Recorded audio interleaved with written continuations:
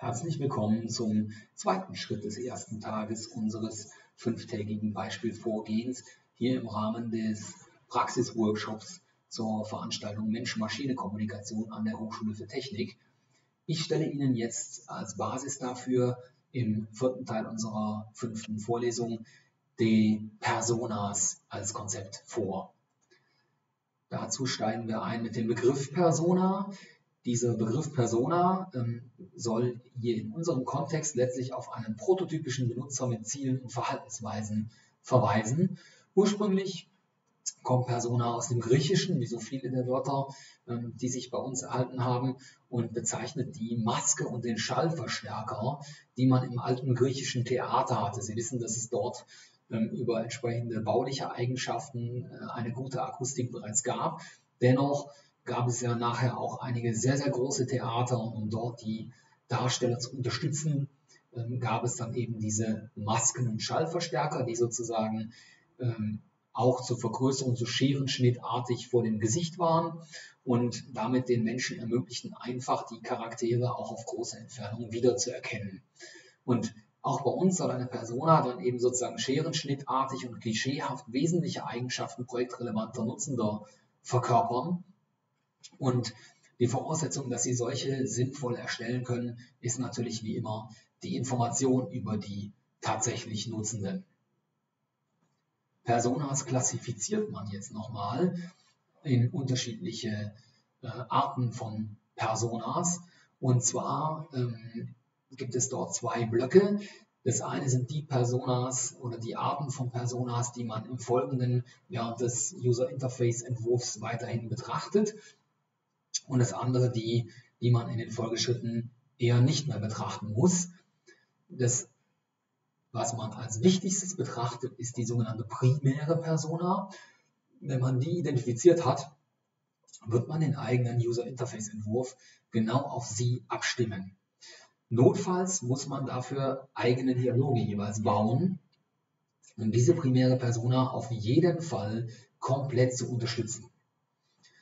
Dann gibt es sekundäre Personas, ähm, deren Bedürfnisse sind überwiegend durch primäre Personas bereits abgedeckt. Es kann aber sein, dass man hier oder da eine kleine Ergänzung benötigt, um diese sekundäre Persona zu unterstützen.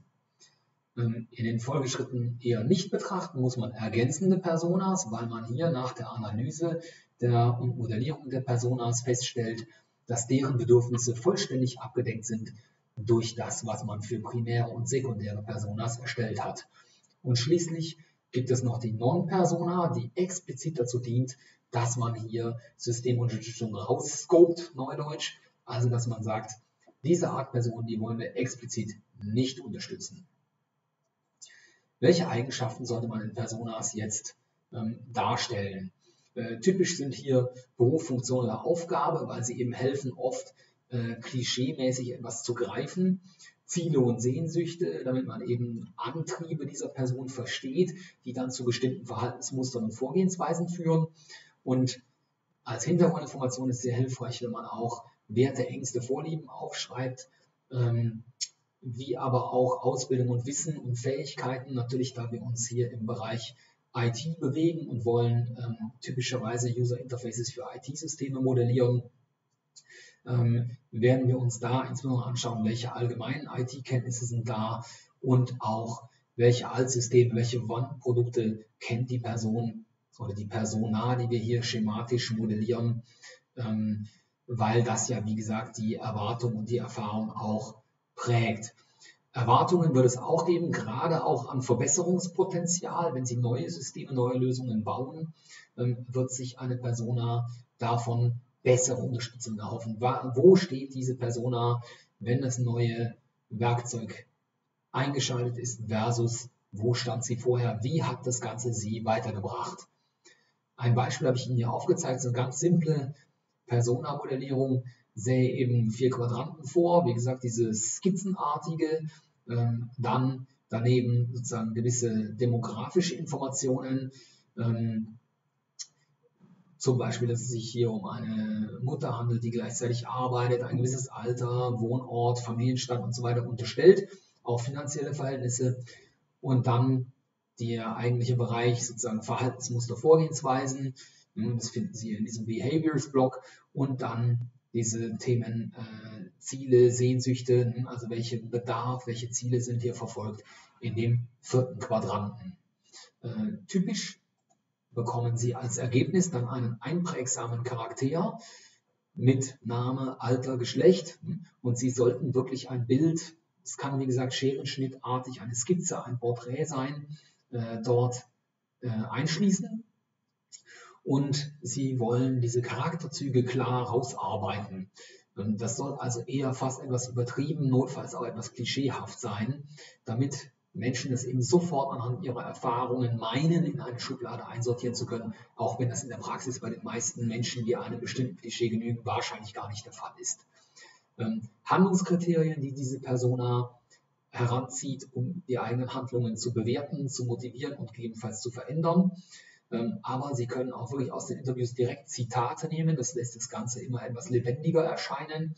Optional könnten Sie auch noch über einen Tag im Leben von XY, also Ihrer Persona, schreiben.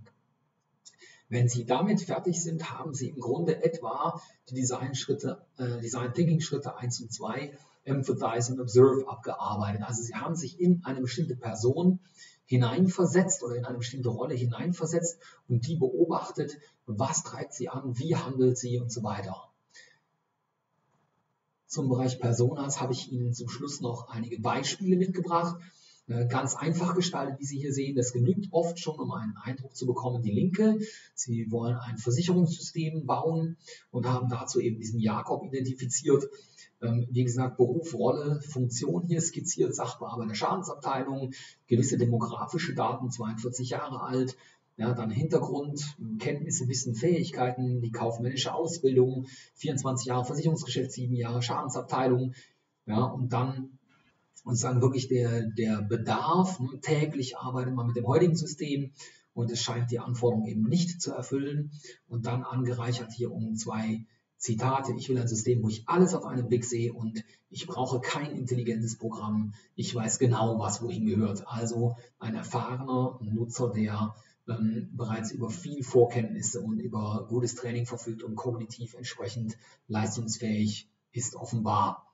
Ähm, man kann das Ganze auch ausführlicher, auch grafisch wesentlich stärker aufbereitet darstellen, wie Sie hier in dem zweiten Beispiel sehen. Da geht man dann neben den Kenntnissen auch noch mehr auf Hobbys oder Aktivitäten ein. Ähm, dieser Hintergrund, der findet sich eben hier in dieser Situation. Und äh, obendrein haben die Macher hier sogar noch einen Fließtext erstellt, der die Persona näher beschreibt. Den eigentlichen Ausbildungshintergrund äh, und die Situation sehen Sie dann gleich oben im Kästchen. Auch hier ist ein Bild äh, dabei, was die Person darstellt. Achtung immer mit echten Bildern von echten Personen. Äh, da müssen Sie sehr vorsichtig sein. Ähm, von daher bietet sich das Scherenschnittartige noch mehr an, um auch diesen Scherenschnittcharakter herauszuarbeiten und Sie laufen da auch weniger in Probleme. Ähm, beim Charakter können Sie auch neben diesen Aufteilungen hier, wo man versucht, das schematisch einzusortieren, wenn Sie sowas denn machen, ähm, können Sie auch auf die fünf Dimensionen zurückgehen, äh, entlang derer man heute in der Psychologie oft ähm, das versucht zu verorten. Ähm, auch hier sehen Sie, dass Sie ein Zitat finden. Diese Charakterdimensionen brauchen Sie für eine einfache Persona aber nicht. Also im Rahmen unseres Praxisworkshops würde durchaus ein Ergebnis genügen, was hier äh, eher näher an dem linken als an dem rechten Beispiel ist. Aber so sehen Sie zumindest mal, welche Spannen es bei der Ausarbeitung von Personas wirklich gibt im User Experience Design.